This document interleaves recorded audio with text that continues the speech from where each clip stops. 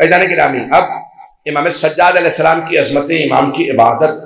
मैं एक और यहाँ पे मिसाल पेश करना चाहता हूँ इमाम की ज़िंदगी से।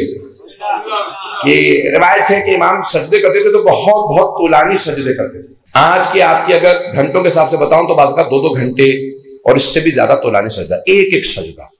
कहना बड़ा आसान इंसान दो घंटे सजदे में हो तो अंदाज़ा होता। यहाँ तक कि इमाम के पूरे पेशानी पे, हथेलियों पे निशान थे। बहुत तुलानी सजदा तो एक मरतबा इमाम सजदे में है और आवाज़ आती है कि, अरे, मोहम्मद बाकिर कुएँ में गिर गए।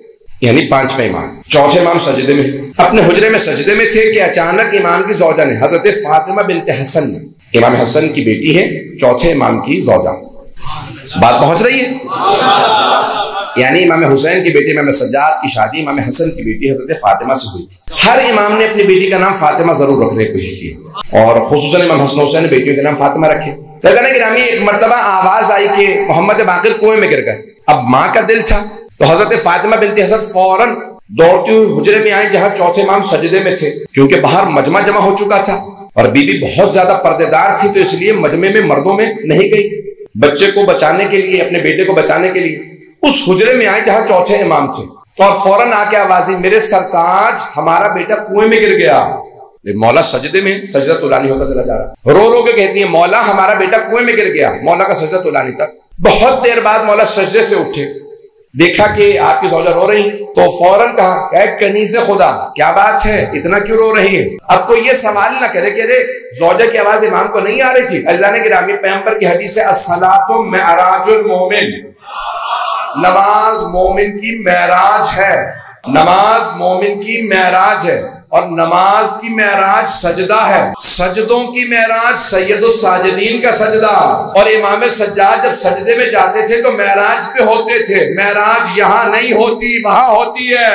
अब इमाम है महराज पे क्योंकि इमाम सजदे में है। तो अब इमाम यहाँ है ही नहीं। इमाम का दुनिया से ताल्लुक मुनकता है, अल्लाह से रबता है। सजदे में थे, भाई मैं इसकी ज़्यादा वजाहत नहीं कर सकता। अगर कहेंगे तो कल वजाहत कर दूँगा। लेकिन इमाम खुदा के साथ है। अगर कहें तो अभी वजाहत कर दूँ। क्योंकि आप क्योंकि रिस्पॉन्स नहीं आ रहा था, इसलिए मैं वजाहत करने में मजबूर हूँ। ऐसा नहीं मौला अमीर मस्जिद नबवी के अंदर नाफिला पढ़ रहे हैं जोहर की। तमाम सहाबा भी नाफिला पढ़ रहे हैं। इतने में फकीर आता दर पे आके कहता है ए मुसलमानों, है कोई जो राह खुदा में कुछ अदा करे?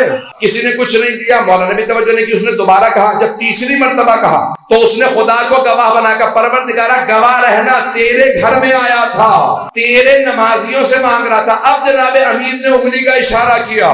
जैसे मौलाना ने उंगली का इशारा किया, वो आगे बढ़ा, उसने अंगूठी उतार दी जब तक नमाजियों को बुला रहा था, मौला तवज्जो नहीं कर रहे थे।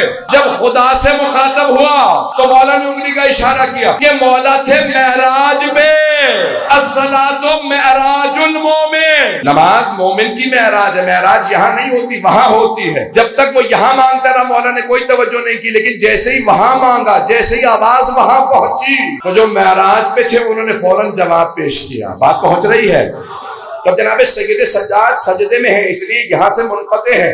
जैसे ही उठे तो जनाबे फातमा बिन हसन ने कहा, मौला, हमारा बेटा कुएँ में गिर गया। तो आपने फ़ौरन इरशाद फरमाया कहे कनी से खुदा, अपने आँसू साफ़ कर लीजिए। मैं भी हमारे बेटे को लेके आता हूँ। बीबी ने फ़ौरन आँसू साफ़ कर लिए और बड़ी मुतमिन हो गई। अब बेटा सही सालिम है। क्यों? कहा, जब इमाम ने जमानत दे दी, मैं बेटे को लेके आता हूँ।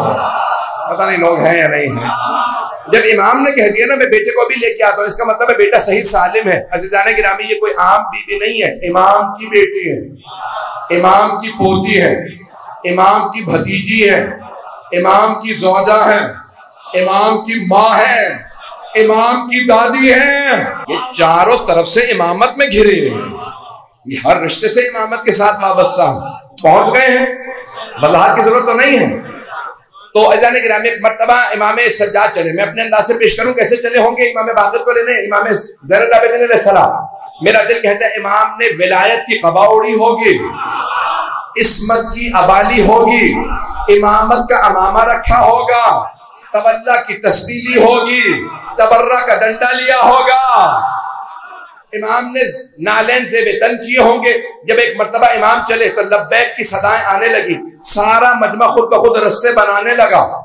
करे साजिदीन आ रहे हैं। जैसे इमाम आगे बढ़े, एक आदमी ने मजमे में आवाज़ दे कहा, अरे, इतनी देर से आए, बच्चा तो मर चुका होगा। इतनी देर से बच्चा कुएँ में गिरा हुआ। सारा मदीना देख रहा था। इमाम कुएँ के पास आए दोनों हाथ बढ़ा के कहा, पानी मेरी अमानत लौटा दे। सारे मदीने ने देखा, कुएँ का पानी उभरने लगा। जब पानी उभर के ऊपर आया तो सबने देखा, इमाम बाकिर पानी के अंदर नहीं थे। पानी के ऊपर बैठे हुए थे। मतलब चौथे इमाम ने आगोश बढ़ाई, पाँचवें इमाम आगोश में आए। गोद में लिया, चलने लगे। अब एक आदमी ने हिम्मत करके सवाल किया का फर्जंद रसूल, क्या मैं पूछ सकता हूँ?